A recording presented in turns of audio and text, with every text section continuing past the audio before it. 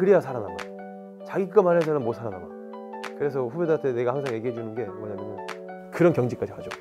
나중에는 그런 것도 이제 차이를 만들죠. 그런 한 끗 차이가.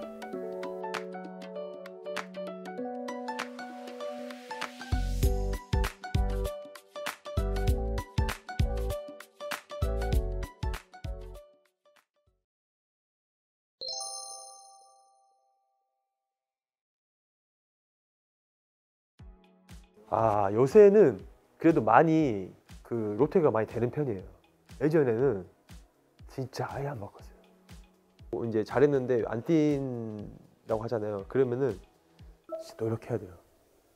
그 경기 뛰고 있는 선수랑 똑같이 해서는 절대 이길 수 없어요. 왜냐면 이 선수는 봐보세요. 내가 경기적으로 데이터를 쌓고 있는 거잖아요. 경기를 계속 뛰면서 이 선수는 거기에 계속 경험을 추구하고 있는 거예요. 경기를 못 뛰는 신체적으로는 같아지겠지만 데이터가 없잖아요. 이길 수가 없죠. 근데 이거를 이겨내려 그러면은 이 선수가 운동한 거보다 배로 해버려야 돼. 신체적으로 아 이겨버려야 돼. 신체적으로 이겨버렸을 때 기회가 왔을 때 딱 들어가서 뭔가 딱 하면은 벌써 밖에서 봤을 때 몸이 다른 걸 알잖아요. 그래서 신체적으로 아예 이겨버려서 그 자리를 뺏을 수 있는 신체를 만들어야 돼 일단. 감독님이 원하는 거를 파악을 잘해야 돼요. 그래야 살아남아. 자기 것만 해서는 못 살아남아. 잘하고 못하고 따라서 무언가를 원하는 게 있을 거예요. 원하는 방향성이 있을 거예요. 그래서 후배들한테 내가 항상 얘기해 주는 게 뭐냐면은 감독님이 원하는 거를 빨리 파악해서 그거를 하는 친구가 오래 살아남는다고 얘기를 해줘요. 그리고 그게 내 거를 버린다고 생각하지 말라고 그래요. 나는 예를 들어 자동차로 생각했을 때 내가 기본 옵션을 가진 차량이야. 근데 나는 가지고 있는 옵션이 예를 들어서 한 가지야. 이걸 버리고 이걸 넣는다 생각하지 마라.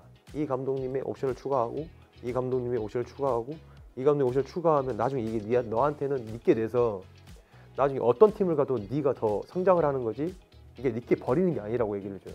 하나하나 축적이 되면 그러면 나중에는 뭐 어떤 스타일도 다 할 수 있는 선수가 돼버리는 거죠.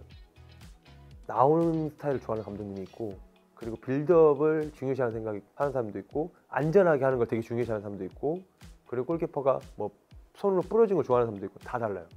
그래서 저는 항상 그런 그랬던 것 같아요. 감독님이 어떤 거를 좋아하시는지를 빨리 파악했던 것 같아요. 그 전술적인 거는 감독님이 다 가져가시는 거기 때문에 아까 말했던 옵션을 추구한다 생각하고 감독님 원하는 부분들을 빌드업하면 빌드업 하고 아니, 빌드업보다도 안전하게 하면 안전하게 하고 약간 그런 것들을 저는 빨리 파악을 했던 것 같아요. 제 스스로.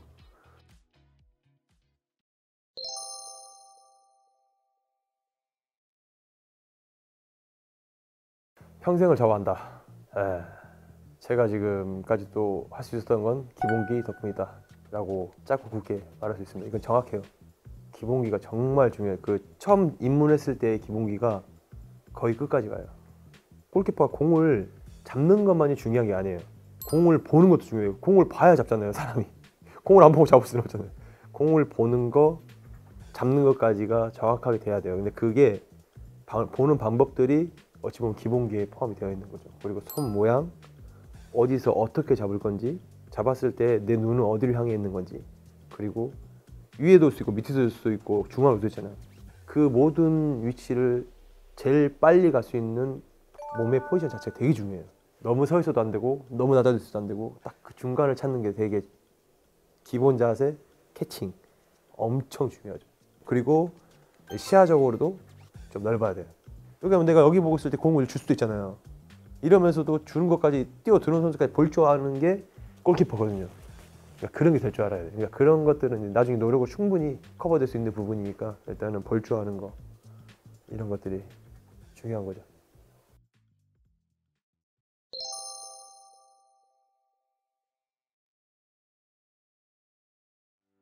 어, 일단 정신적으로 되게 강해야 되고 겁이 없어야 되고 전체적으로 볼 수 있는 시야가 필요해요. 자기만이 아닌 팀을 컨트롤할 수 있는 기본적 능력이 필요하고 거기에 플러스 엄청 강함이 있어야 돼요. 너무 내성적이어도 안 되고 어찌 보면 외향적인 게 되게 좋죠. 골키퍼는 계속 끊임없이 소통하고 선수들을 계속 이동시켜줘야 되고 밸런스가 무너진 부분들을 계속 내가 컨트롤할 수 있어야 되기 때문에 말이 너무 없으면은 오히려 그게 자기한테 안 좋을 수 있어요. 그래서 내, 내향적이어도 경기장 안에서만큼은 내가 소리 지르고 선수들 요구할 줄도 알아야 되고 컨트롤 할 줄 알아야 돼요. 엄청 중요해요. 골키퍼는 자기 것만 해서는 안 돼요.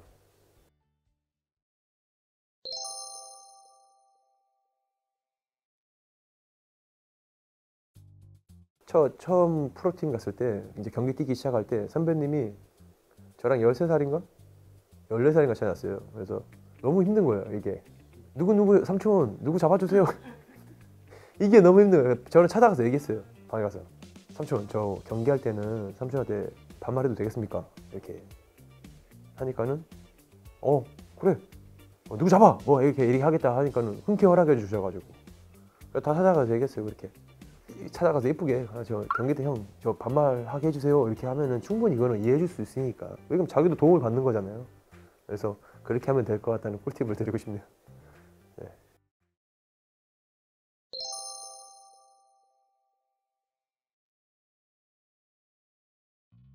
어 물론 좋은 팀에 있으면 공이 오는 횟수가 줄어들 수는 있어요 근데 그런 팀에 있을수록 더 집중을 더 잘해야 돼요 공이 계속 오면은 자기도 모르게 집중을 계속 하고 하게 돼요. 근데 공이 오나 안 와 버리면 거기서 오히려 문제가 더 많이 생겨요. 언제 올지 모르니까 집중 안 하고 있으면 그 하나 오는 게 골이 다 될 수 있어요. 그러니까 잘하는 팀에 있는 선수들 집중력이 되게 좋아요. 그래서 좋은 선방들을 하는 거예요. 괜히 잘하는 게 아니다라는 걸 예, 말해주고 싶고 집중력이 제일 중요하다. 골키퍼는.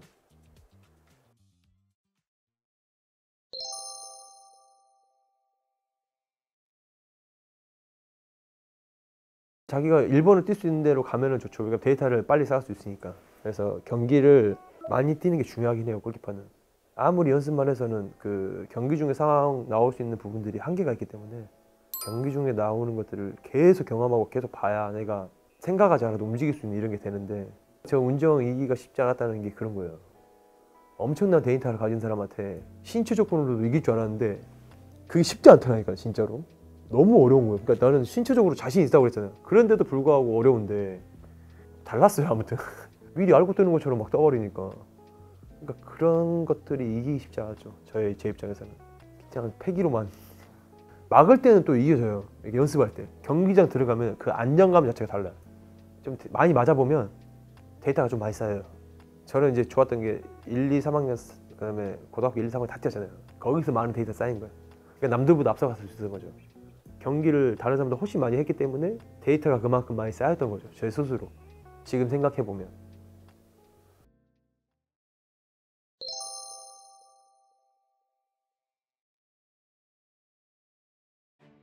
그러니까 탑급 골키퍼들은 쳐낼 공을 잡아버린다든지 잡으려고 하다가 마지막 순간에는 보고 쳐내. 그러니까 오는 거를 코너킥 안 시키려고 사이드 툭 이렇게 쳐내는 그런 경지까지 가죠. 나중에는. 그러니까 이렇게 와서 쳐내더라도 우리 편 쪽으로 쳐내는 거야. 보면서 같이 보는 거죠 공이랑 우리 사람이랑. 그게 이제 골키퍼의 센스 두뇌라고 하거든요 그런 것들을. 그런 것도 이제 차이를 만들죠. 그래 한끗 차이가. 보통 경기를 많이 하는 데가 한 60경기, 70경기씩 하더라고요. 온전히 자기 본인의 실수로 먹는 골들이 진짜 탑레벨에 있는 선수들이 한 2.5개, 3개, 70몇 경기 중에 진짜 어마어마한 거거든요. 자기가 자기 실수를 해서 골 먹는 거를 최대한 줄이면은 그게 좋은 골키퍼예요.